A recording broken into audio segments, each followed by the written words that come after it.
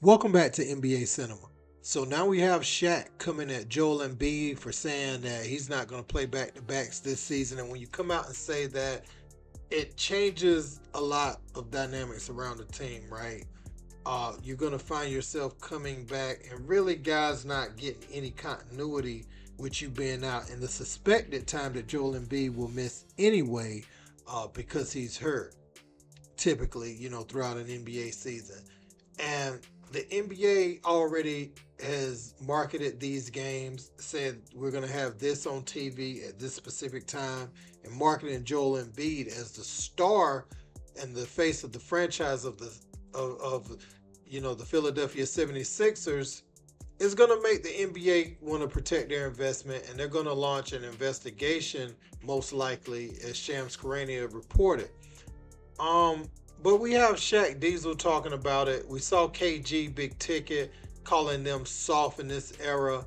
And we're going to look back at a little bit of what KG said. And we're going to look at what Shaq said. You have to want to be that guy. And with his statements the other day, I don't think Joel wants to be that guy. Mm. I actually want him to take it personal. Like, you can't come out before the season and say, I'm not playing back to back. Say it again. Spell it. S O F, capital T. Shout out to you guys. I wanted all the smoke. I'm in LA. That ain't that, it ain't Magic City no more. I want it. Bring it to me. So when he came out and said I'm not playing back to back, I thought about it first. I'm like, you don't get double team, you don't get triple team. Oh, he's picking pop. Why are you tired? Until he steps up and takes that responsibility and puts the city and the team on his back, because he can do it. Like he, he got pissed off one time last year. How many he dropped? 70. 70. On the Spurs. So if, if you can drop 70 when you're pissed off, you can you can average 40. You look great in the Olympics against Jokic, too. You yeah. did. First off, it comes out in um, Philly that uh, big fella, Joel Embiid, is not going to play back-to-backs ever again. Like it's over. Like, I guess for the duration that he's ever in the league, which is a fucking amazing that he can get this off. I mean, this is, this is, this is it. Dog, dog. Back to backs are part of the fucking of the of the of the. So that's going to be about like 15, 15 this year. So automatically you're not playing in 15, 15 games. games. So, so, he's missed. You got a no, no, 67 game schedule. Right. He's going to play one of those games, but he's not going to play both of those games. Yeah. Man, think of man. Listen. Okay. What do you think is a good number of games he plays? 82 games, man. This is what the fucking job calls for. You're not practicing. You're not even playing a whole fucking. You don't play in the summer. Right. I can see if you playing in the summer. You on the playground. You went to the Olympics. Then it's training camp. Y'all do 30 days of uh, fucking tour days. Okay, that's when you get rest. Man, I don't want to hear this shit, man. I don't want to hear none of this shit. Motherfucker can sit out a back to backs, bro. Don't, bro. Hey, listen, we done with that comparison of the era shit. We're gonna respect this era and what it does, and, and that's it. I don't, want, don't, don't, don't compare nobody and none of this shit because think, you can't. If you ain't play, man, man, listen. I think that's gonna hurt Philly. That's gonna hurt Philly from a not even that, but bro, from you, a seeding perspective, nah, it's, like, it's, you know it's, it's rhythm. One night I got P. Next P. Next night I ain't got it. You might have to put. They might put themselves in the position to where they play Boston in the first round.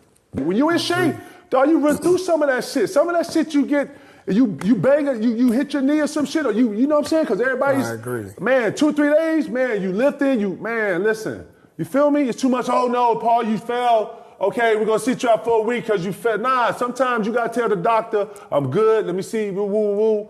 Yeah, man, it's just another level, whatever. We didn't even come in here on that today, but yeah, I, I feel some type of way when I sit back because I don't. Right. Where's the?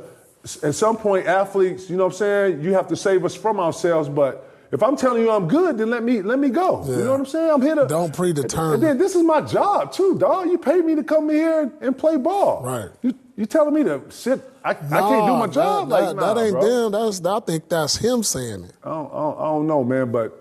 I just want to see more grit and push from all the players, man. I know y'all gearing up for the marathon, but the marathon has to start somewhere in the run. Now, whether you're going hard up the hill or you slow down, you're still going. So I'm gonna say a couple of things about Joel Embiid, and this is just my take on it. It goes back to that New York series for me when he was out there forcing himself to play through every game. we didn't see that same level of determination the year prior when James Harden was still on the team when they played the Boston Celtics. So it was like he didn't want to play in a series where they felt overmatched uh, as much, but he felt like he had an advantage on the Knicks and he tried to power through it.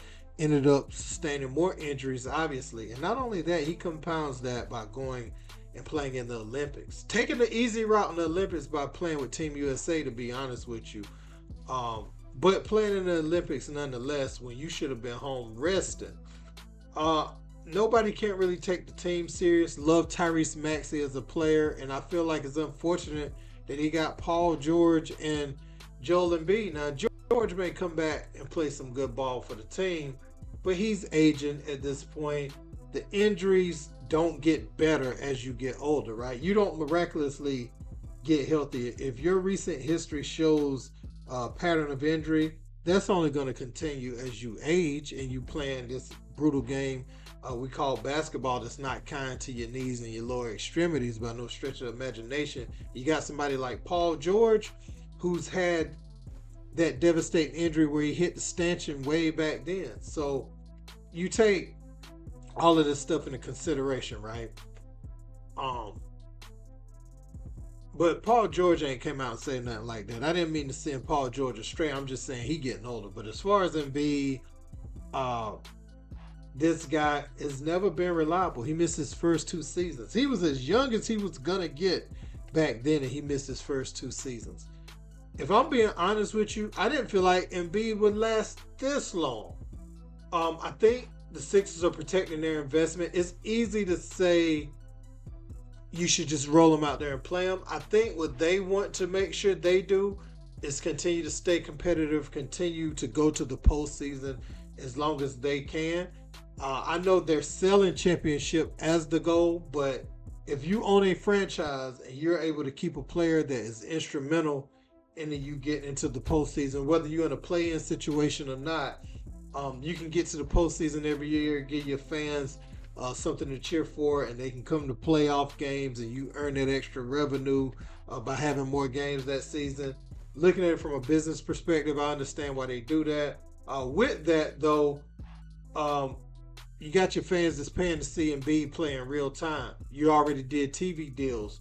The the um, advertisers looking at the team as having Joel Embiid on the team, who's an All Star MVP and all that, and him missing those games. So if a back to back falls on the night where he's supposed to play Jokic, he won't play.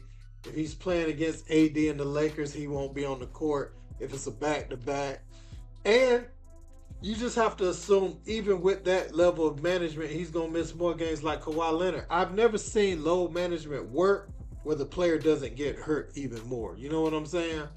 Um, so we're gonna see how this works out, man. I think Joel Embiid is nearing the end portion of his career. Unfortunately, I think he gave us some great moments at times, but he had an underwhelming playoff career. If you really want to look at the totality of it, um, and also um, you know, just some of the questions over the summer, I feel like Sixers dropped the ball. They were supposed to say, nah, you can't play in the Olympics. You've been too hurt. You need to do everything we need you to do this summer because they didn't invest in them, right? Um, healthy players play in the Olympics, relatively healthy players, right? Not players who already have injury problems. He could have ended his career in the Olympics. That's how injury prone he is. So I blame this on the organization some too for allowing him to get that extra basketball um, with the USA team. He should have been home and they should have been monitoring him because now this is your go at it. You would have had to think that this year is the window because next year, Paul George will be even a year older. Maxey will be going more into his prime, but uh Embiid is like a 36 year old man, like physically and he's not that age, but he is older than his actual age is in basketball years. You look at what his body's been through. So that's my take on it, man. I don't know I was all over the place, but it's just so much to say about this situation. And something some of this stuff disgusts me. Um, let me know what you think in the comments. Don't forget to like, share, and subscribe. To next time. Peace.